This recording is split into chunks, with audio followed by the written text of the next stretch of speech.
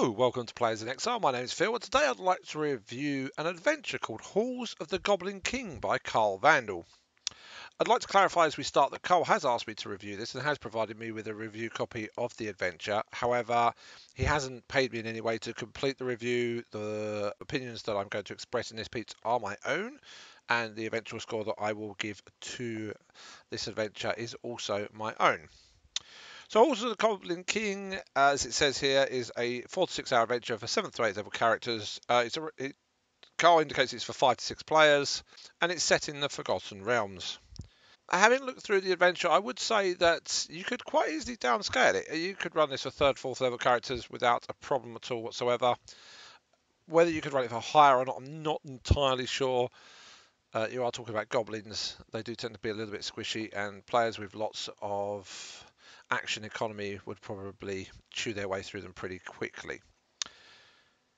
So the action, as, I, as I've said, is set in the Forgotten Realms, but it wouldn't be too difficult to adapt it to run in your own homebrew or into a different location the adventure itself comes with a map to show the location of where it is set in the Forgotten Realms, which is really quite cool. I had a look at my larger map, which I got in uh, Hoard of the Dragon Queen, and I could find exactly where it was on that map, and kind of made me think, oh, okay, that's pretty neat. So I did like that. The adventure itself is, I would piece it, as it says, it's a four to six hour adventure. So it's either a slightly long, it's probably a two session adventure, really. Um, it's either a side quest say your players have just completed sort of one major part of a story, you want to do something different with them for a couple of couple of sessions, you could run this. Uh, or if you, you have got you just want to run a, a, two session game, you know, a quick one off almost. I could see the players getting through this very very very quickly in a certain scenario, especially if they're a bunch of pacifists. Which is rare in my experience for Dungeons and Dragons players. Most of them tend to be murder hobos and will talk with their weapons first and their spells first before their roleplay abilities. But there is a way you could just literally go through this adventure very smoothly, very quickly, no combat whatsoever, and be very successful in it. So that's that to bear in mind. One of the things I believe Carl has done is to write adventures which I think run on after this one. So if you were thinking about playing this adventure and then you wanted it to, to go on with some of the characters in it, with some of the ways things have happened, and some of the locations and events in this, uh, Carl does have alternative adventures available. The adventure itself breaks down into three parts. The first part is your initial setup and how your players end up uh, going on this particular adventure. Uh, so that's quite short. The second part I really did like is a journey. So it's traveling from where they get the adventure to where the, the halls of the Goblin King are. And it travels over a mountainous terrain, which is why you've got the mountain pictures on, on the back of the adventure there. And I think Carl's done a very good job of making that feel perilous, making that feel uh, part of the adventure. I like a lot of the ideas he uses in this part of it. I'm probably going to borrow those, even if I don't run the adventure specifically. So I found that that's a good reprieve from just saying, "Oh, you've travelled from A to B. Now we're going to do this." There's, there, there's random events and sort of weathery things and other things that can happen. I won't go into them too much, but uh, it's well worth uh, having a look at that if you do opt to purchase this particular adventure. And then you get to the third part, and the third part is where you get to the, the sort of the fortress where the, the, the, Goblin King has set up his his throne, if you like, and the ways that you can get into that fortress, or the players, I would say, could get into that fortress, whether they, they decide to just hack and slash their way through everything, or maybe choose a more diplomatic path. The options are there from them.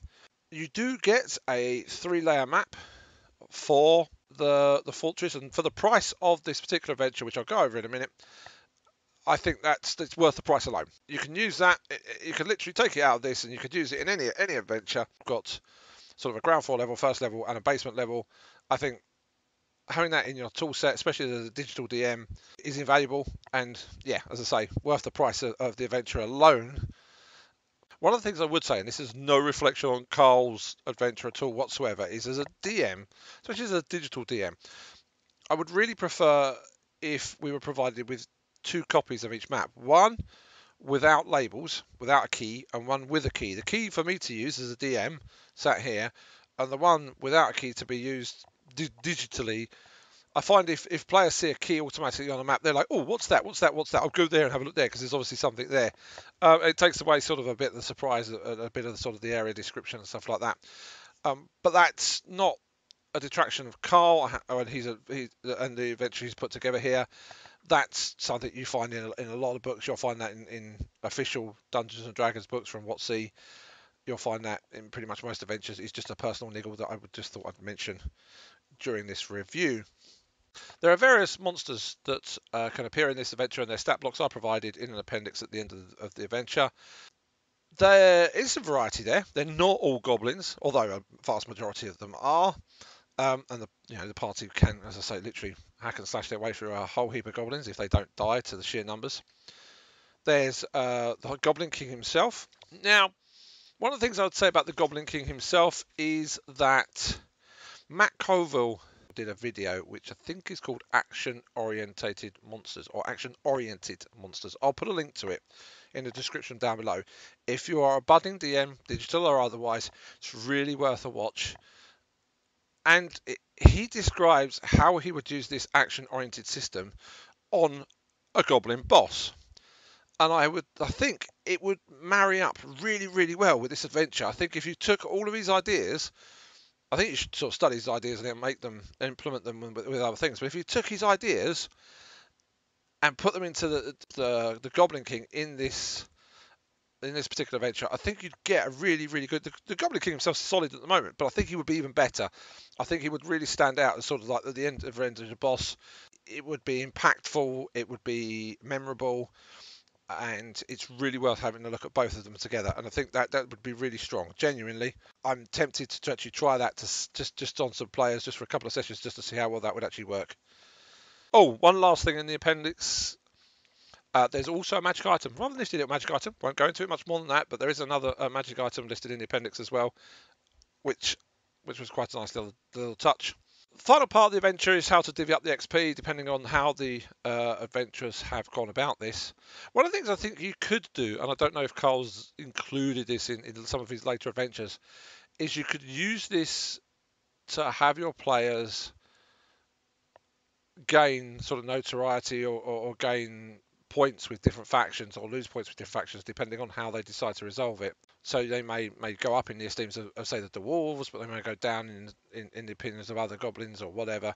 However you wanted to play it, I think there is a, a way to, to, to, balance that, and that's a, a, a nice idea. I think I would also like to explore. Halls of the Goblin King costs a mere $2.95 on Dungeon Masters Guild. So in English money, that's a little tiny bit over £2 sterling you get a decent adventure. It's well written. It's well laid out. It's got some nice maps in it that are very usable. It's really reasonably priced. I'm certainly going to use the ideas in it, if not actually run it itself. I'm going to give this a solid 8 out of 10. It has a massive of value for money at that price, and I would genuinely recommend that you go and check it out. I'm going to put a link to Dungeon Masters Guild where you can buy this in the comments below. As I said, I'm going to put a link to Matt Colville's video as well, and neither of which I'm sponsored to do, but both of which I found useful. I hope you've enjoyed this review. I'm hoping to do many more. If you have enjoyed it, please like and subscribe, and join me next time on Players in Exile.